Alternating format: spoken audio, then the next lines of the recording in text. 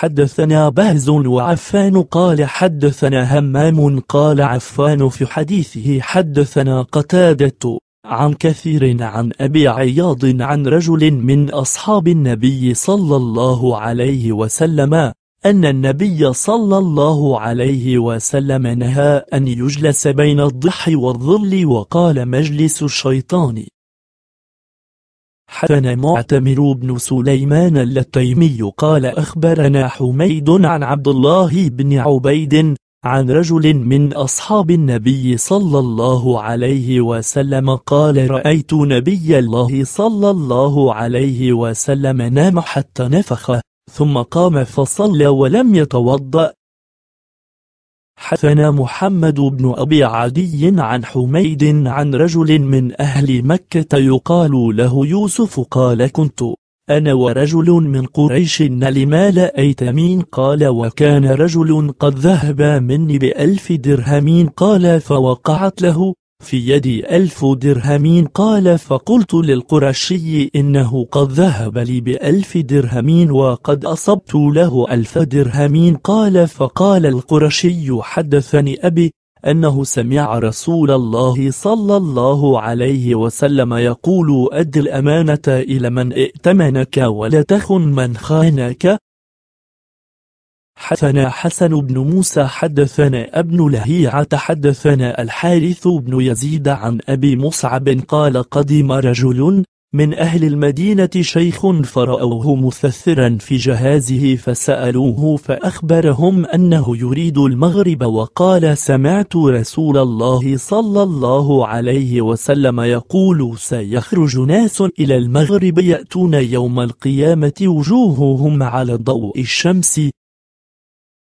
حدثنا معاوية بن عمرو وأبو سعيد قال حدثنا زائدة قال حدثنا السائب بن حبيش الكلاعي عن أبي الشماخ الأزدي عن ابن عم له من أصحاب النبي صلى الله عليه وسلم أتى معاوية فدخل عليه فقال سمعت رسول الله صلى الله عليه وسلم يقول من ولي أمرا؟ من أمر الناس ثم أغلق بابه دون المسكين والمظلوم أو ذي الحاجة أغلق الله تبارك وتعالى دونه أبواب رحمته عند حاجته وفقره أفقر ما يكون إليها.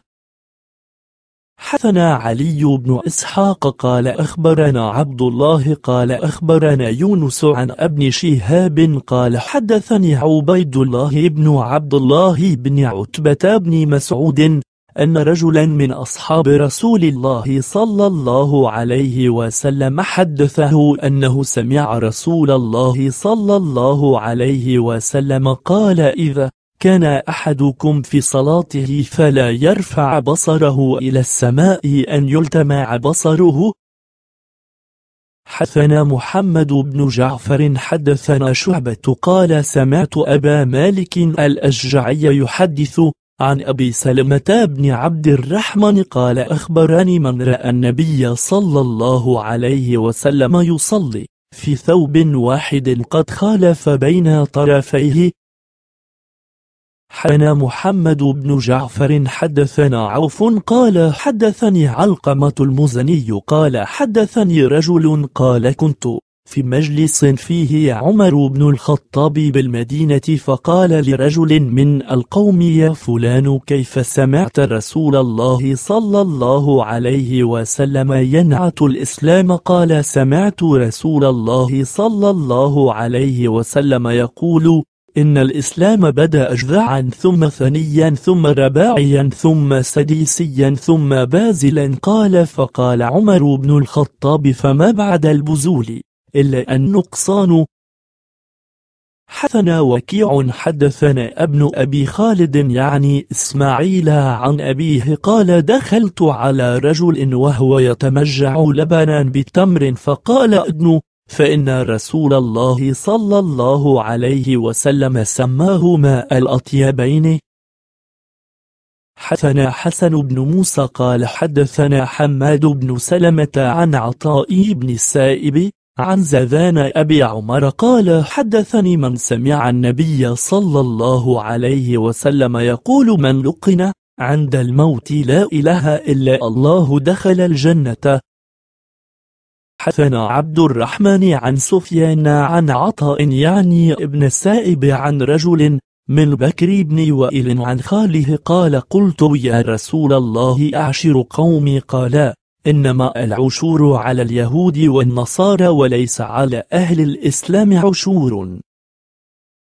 قال حدثنا أبو نعيمين حدثنا سفيان عن عطاء عن حرب بن عبيد الله الثقفي عن خاله قال أتيت النبي صلى الله عليه وسلم فذكر له أشياء فسأله فقال أعشرها؟ فقال إنما العشور على اليهود والنصارى وليس على أهل الإسلام عشور.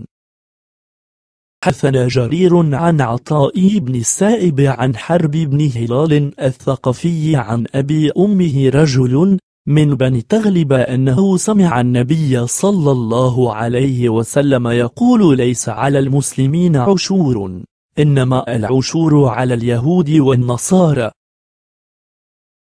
حدثنا معاوية بن عمرو قال حدثنا زائدة عن الأعمش عن أبي صالح عن بعض أصحاب النبي صلى الله عليه وسلم قال قال النبي صلى الله عليه وسلم لرجل كيف تقول في الصلاة؟ قال أتشهد ثم أقول اللهم إني أسألك الجنة وأعوذ بك من النار أما إني لا أحسن دندنتك ولا دندنة معاذ؟ فقال النبي صلى الله عليه وسلم حولها ندندن. حسن إسحاق بن عيسى قال أخبرني مالك عن سمي عن أبي بكر بن عبد الرحمن بن الحارث بن هشامين عن بعض أصحاب النبي صلى الله عليه وسلم أن رسول الله صلى الله عليه وسلم أمر الناس بالفطر عام الفتح وقال تقوى قول عدوكم وصام رسول الله صلى الله عليه وسلم قال أبو بكر قال الذي حدثني لقد رأيت رسول الله صلى الله عليه وسلم بالعرج يصب على رأسه الماء من العطش أو من الحر ثم قيل يا رسول الله إن طائفة من الناس قد صاموا حين صمت فلما كان بالكديد دعا بقدح فشرب فأفطر الناس. قال حدثنا أبو أحمد محمد بن عبد الله الزبيري حدثنا سعد يعني ابن أوس العبسية عن بلال العبسي قال أخبرنا عمران بن حصين الضبي أنه آتى البصرة وبها عبد الله بن عباس أميرا فإذا هو برجل قائمين في ظل القصر يقول صدق الله ورسوله صدق الله ورسوله ليزيد على ذلك فدنوت منه شيئا فقلت له لقد أكثرت من قولك صدق الله ورسوله فقال أما والله لئن شئت لأخبرتك فقلت أجل فقال اجلس إذا فقال إني أتيت رسول الله صلى الله عليه وسلم وهو بالمدينة في زماني كذا وكذا وقد كان شيخان للحي قد انطلق ابن لهما فلحق به فقالا إنك قادم المدينة وإن ابنا لنا قد لحق بهذا الرجل فأته فاطلبه منه. منه فإن أبى إلا الافتداء فافتده فأتيت المدينة فدخلت على نبي الله صلى الله عليه وسلم فقلت يا نبي الله إن شيخين للحي آمراني أن أطلب ابنا له ما عندك فقال تعرفه فقال أعرف نسبه فدعا الغلام فجاء فقال هو ذا فأت به أبويه فقلت الفداء يا نبي الله قال إنه لا يصلح لنا آل محمد أن نأكل ثمن أحد من ولد إسماعيل ثم ضرب على كتف ثم قال لا أخشى على قريش. إلا أنفسها قلت وما لهم يا نبي الله؟ قال إن طال بك العمر رأيتهم هاهنا حتى ترى الناس بينهما كالغنم بين حوضين مرة إلى هذا ومرة إلى هذا فأنا أرى ناسا يستأذنون على ابن عباس رأيتهم العام يستأذنون على معاوية فذكرت ما قال النبي صلى الله عليه وسلم حدثنا عفان حدثنا وهيب حدثنا موسى بن عقبة قال حدثني أبو النضر عن رجل كان قديما من بني تميم كان في عهد عثمان رجل يخبر عن أبيه أنه لقي رسول الله صلى الله عليه وسلم فقال يا رسول الله اكتب لي كتابا أن لا أؤاخذ بجريرة غيري فقال له رسول الله صلى الله عليه وسلم إن ذلك لك ولكل مسلمين. حدثنا أبو سعيد مولى بني هاشمين قال حدثنا زائدة قال حدثنا السائب بن حبيش عن أبي الشماخ الأزدي عن ابن عم له من أصحاب النبي صلى الله عليه وسلم. أنه آتى معاوية فدخل عليه وقال سمعت رسول الله صلى الله عليه وسلم يقول من ولي أمر الناس؟ ثم أغلق بابه دون المسكين أو المظلوم أو ذي الحاجة أغلق الله عز وجل دونه أبواب رحمته عند حاجته وفقره أفقر ما يكون إليها. حدثنا أبو نعيم قال حدثنا شريك عن يزيد بن أبي زياد عن عبد الرحمن بن أبي ليلى قال نادى رجل من أهل الشام يوم صفين أفيكم أويس القراني قالوا نعم قال سمعت رسول الله صلى الله عليه وسلم إن من خير التابعين أويس القراني قال حدثنا أبو اليمان قال أخبرنا شعيب عن الزهري قال أخبرني عبد الله بن كعب بن مالك الأنصاري وهو أحد الثلاثة الذين تيب عليهم أنه أخبره بعض أصحاب النبي صلى الله عليه وسلم أن النبي صلى الله عليه وسلم خرج يوما عاصبا رأسه فقال في خطبته أما بعد يا معشر المهاجرين فإنكم قد أصبحتم تزيدون وأصبحت الأنصار لا تزيد على هيئتها التي هي عليها اليوم وأن الأنصار عيبتي التي أويت إليها فأكرموا كريمهم وتجاوزوا عن مسيئهم. حدثنا عفان قال حدثنا وهيب قال حدثنا موسى بن عقبة قال حدثني أبو سلمة عن الرجل الذي مر برسول الله صلى الله عليه وسلم وهو يناجي جبريل عليه السلام فزعم أبو سلمة أنه تجنب أن يدنو من رسول الله صلى الله عليه وسلم تخوفا. أن يسمع حديثه فلما أصبح قال له رسول الله صلى الله عليه وسلم ما منعك أن تسلم إذ مررت بي البارحة قال رأيتك تناجي رجلا فخشيت أن تكره أن أدنو منكم؟ قال وهل تدري من الرجل؟ قال لا. قال فذلك جبريل عليه السلام ولو سلمت لرد السلام وقد سمعت من غير أبي سلمة أنه حارثة بن النعمان. قال حدثنا محمد بن جعفر قال حدثنا شعبة قال سمعت أبا مالك الأشجعي يحدث عن أبي سلمة بن عبد الرحمن قال أخبرني من رأى النبي صلى الله عليه وسلم يصلي في ثوب قد خالف بين طرفيه قال حدثنا وكيع قال حدثنا الأعمش عن أبي صالح عن بعض أصحاب النبي صلى الله عليه وسلم عن النبي صلى الله عليه وسلم قال أفضل الكلام سبحان الله والحمد لله ولا إله إلا الله والله أكبر. حدثنا إسماعيل أخبرنا الجريري عن أبي العلاء قال قال رجل كنا مع رسول الله صلى الله عليه وسلم في سفر والناس يعتقبون وفي الظهر قلة فحانت نزلة رسول الله صلى الله عليه وسلم ونزلتي فلاحقني. من بعد فضرب منكبي فقال قل أعوذ برب الفلق فقلت أعوذ برب الفلق فقرأها رسول الله صلى الله عليه وسلم وقرأتها معه ثم قال قل أعوذ برب الناس فقرأها رسول الله صلى الله عليه وسلم وقرأتها معه قال إذا أنت صليت فاقرأ بهما.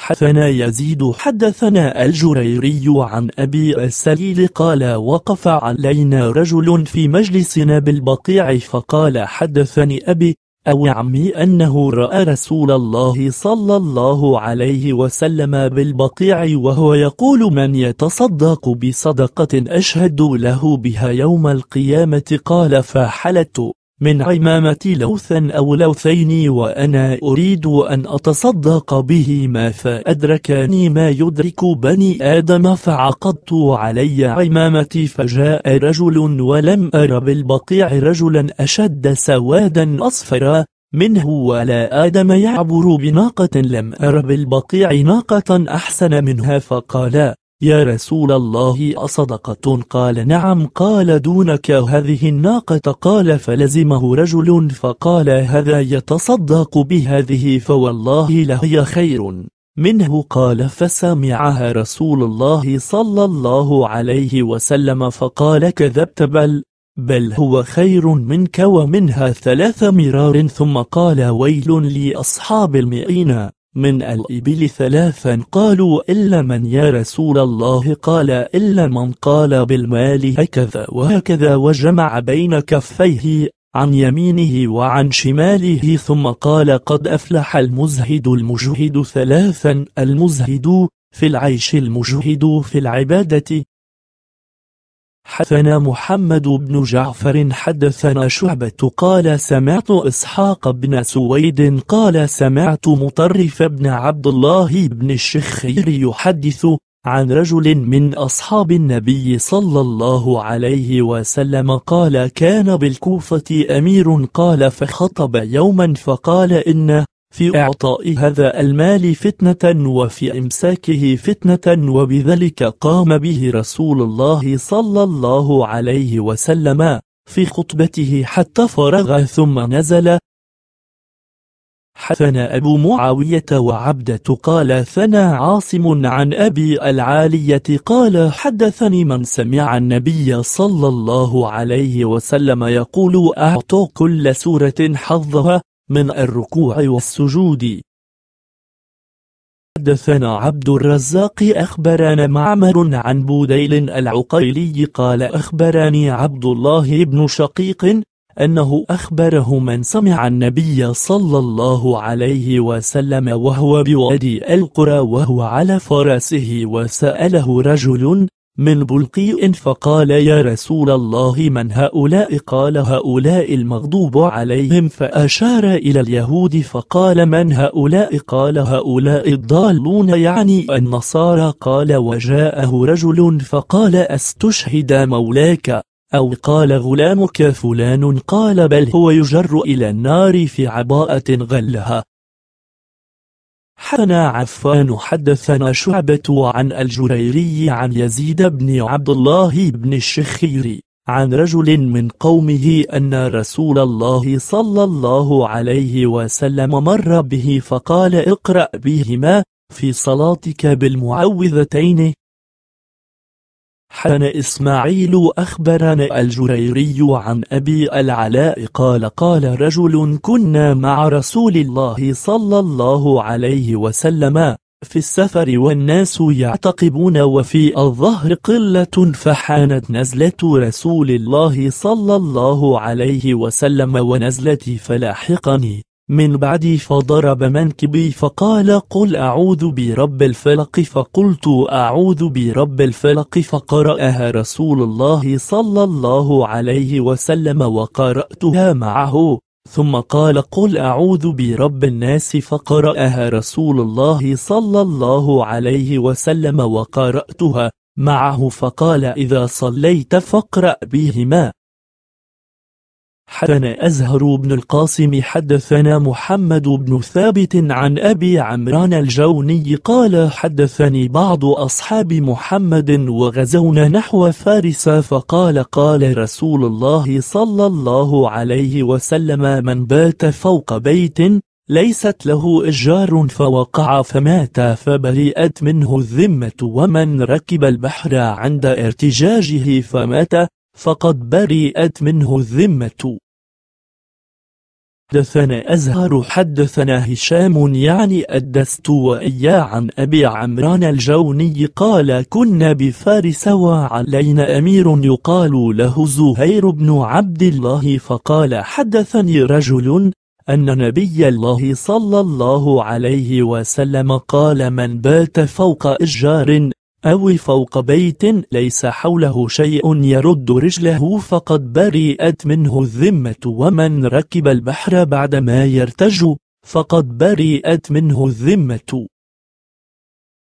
حدثنا محمد بن جعفر حدثنا شعبة عن خالد قال سمعت أبا قلبة يحدث عن محمد بن أبي عائشة عن رجل من أصحاب النبي صلى الله عليه وسلم قال أتقرؤون والإمام يقرأ؟ أو قال تقرؤون خلف الإمام والإمام يقرأ؟ قالوا نعم. قال فلا تفعلوا إلا أن يقرأ أحدكم فاتحة الكتاب في نفسه. قال خالد وحدثني بعد ولم يقل. إن شاء فقلت لأبي قلبة إن شاء قال لا أذكره